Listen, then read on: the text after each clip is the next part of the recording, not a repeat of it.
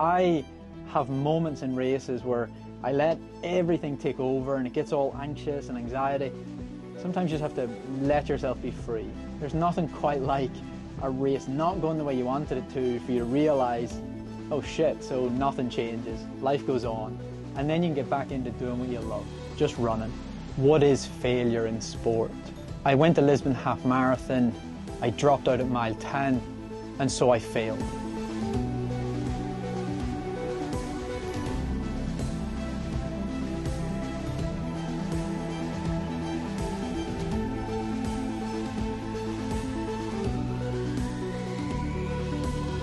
Sport, when you're trying to achieve things that you've, you know, perhaps never achieved before, or you're trying to push yourself to hit these goals that you know perhaps you've set, it can seem cruel. But sometimes all that's happened is your ambition hasn't quite met your preparation. And then when you really look at what might have been an opportunity to excel, you haven't been able to excel because you've allowed ambition to get excited for something that perhaps you weren't quite prepared for. Lisbon half marathon, from a how did the half marathon go perspective, complete disaster. That's a fail, right? But it didn't feel like I left Lisbon as a place or an experience as somebody that had failed. There's a difference when you start to change the way you're looking at it or the perspective that you're taking from that experience. So today's video is sponsored by Ketone IQ.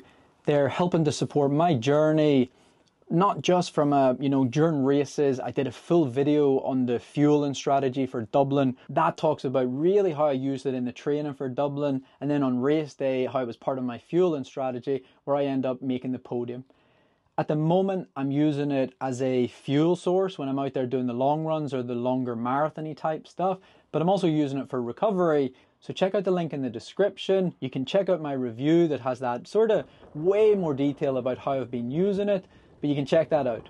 I ran 10 miles, the third quickest I've ever ran in my life, spanning over a 20 year career. Come on, I'm not good enough, I'm not consistently good enough to start saying that running 10 miles in 48:40 is a failure. But from the perspective of half marathon, not fantastic. But I did make mistakes.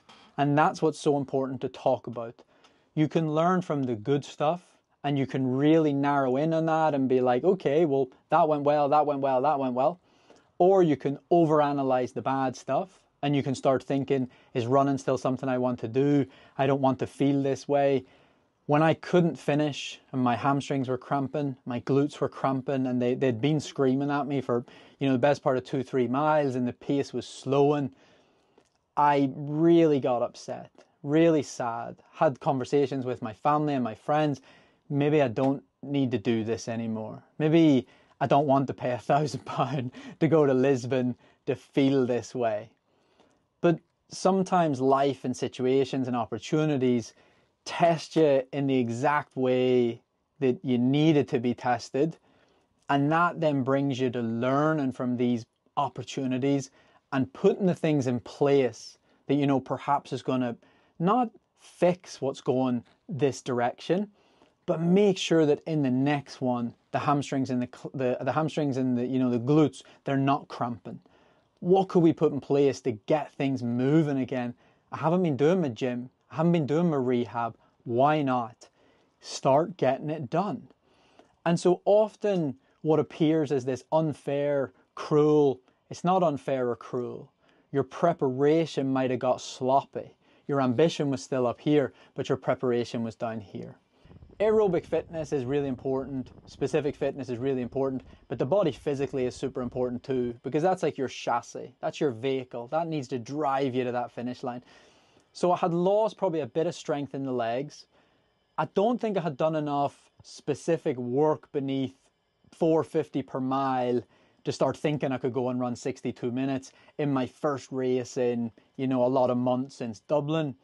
So likely that was a bit too excited and I needed to say, You haven't raced in a while. I need to race more, and we're going to talk about that. But I hadn't raced in a while. I probably should have been aiming for 63.30. I'm in marathon training. Most of the paces of sessions is geared towards 208.10 pace. And then I needed to say, it's hot, it's humid, slow it down. I went off at 61.00 pace. I probably should have went off at 65. I made mistakes in the execution. I went out too hard. I made mistakes in terms of what I perceived my fitness to be. I've only ran 10 mile, I believe, in the last eight weeks at 62 something half marathon pace. That's not great. You need about 40 four times two mile, three times three mile, eight times a mile, six mile in one go, maybe a 10k race. You need way more than 10. And my 10 were sporadic, they weren't even in bulked sessions.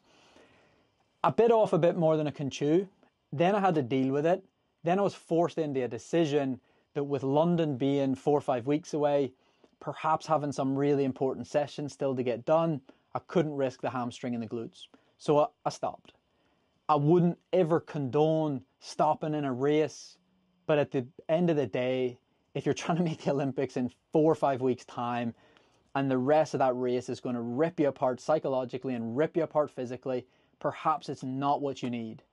And only you can make that decision for yourself. It was really tough jogging to the finish line, especially having, you know, fans cheering me on that were running in the mass race.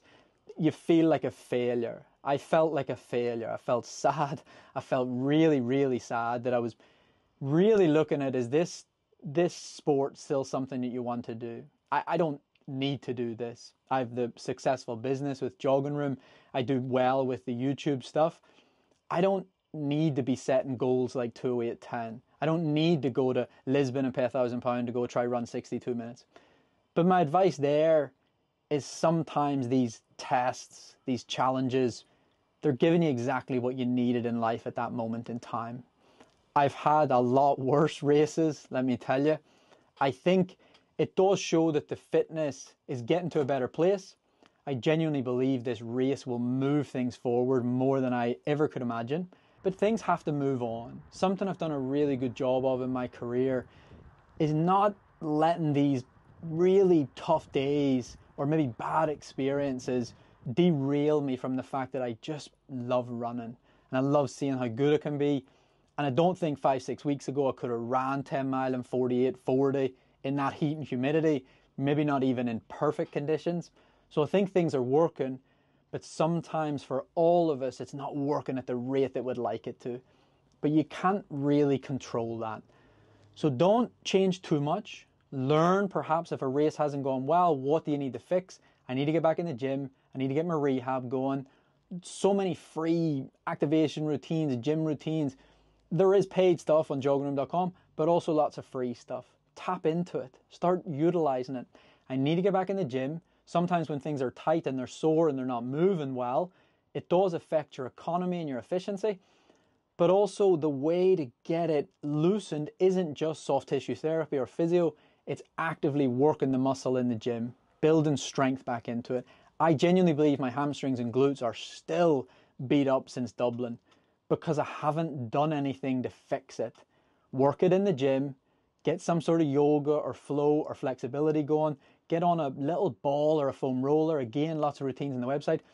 Break the muscle down, foam rolling, stretching, massage, strengthen it up in the gym. Repeat cycle.